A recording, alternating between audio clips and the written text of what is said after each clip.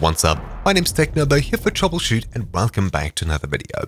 In today's video, I'll be showing you how to fix the Steam API 64.dll error that you could be getting when you're trying to launch up Resident Evil Village. To fix this issue, open up Steam, navigate across to Resident Evil Village, right-click the game, hover over Manage, and then click Browse Local Files. What we're going to do in here is simply right-click re8.exe and click Run as Administrator to launch the game as admin. At this point, it should boot up and work properly. If it did work properly all of a sudden, simply click the Properties button at the very bottom, head over to the Compatibility tab, and make sure that Run this program as an administrator is checked click apply, and OK to always launch the game in administrator mode. This means that if you had the issue and it was solved, it'll now be permanently solved. Speaking of files in this folder, you've probably noticed the DLL causing issues in question. Steam API 64.dll. What you can do if you're still receiving errors at this point is delete this file out of here, open up Steam, navigate across to the game, right click Properties, click on Local Files, and then verify integrity of game files. This will run through all of the files on your computer, it'll notice that this file over here is missing, and it'll simply replace it with a fresh version right off the Steam servers. At this point, your game should definitely be working properly.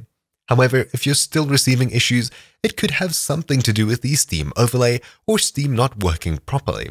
If you're comfortable with testing whether it's your overlay, simply right-click the game, Properties, and right over here, what we're going to look for is Enable the Steam overlay while in game.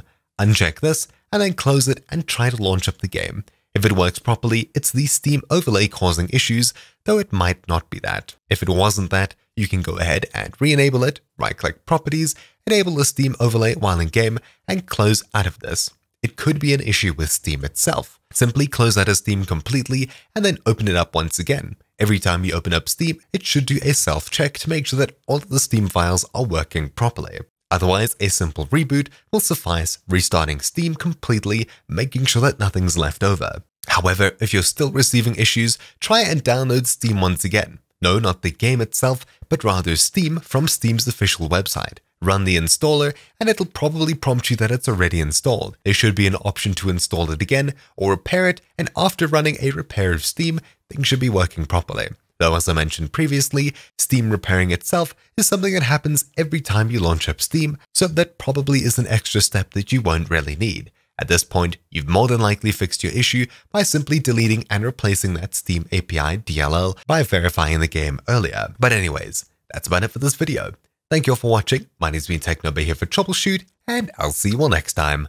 Ciao!